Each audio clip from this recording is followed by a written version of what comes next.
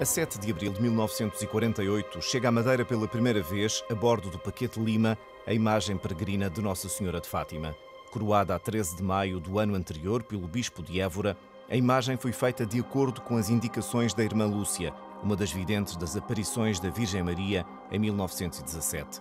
Recebida com grande entusiasmo, a imagem da Virgem percorreu toda a ilha ao longo de três dias, sempre acompanhada por milhares de pessoas.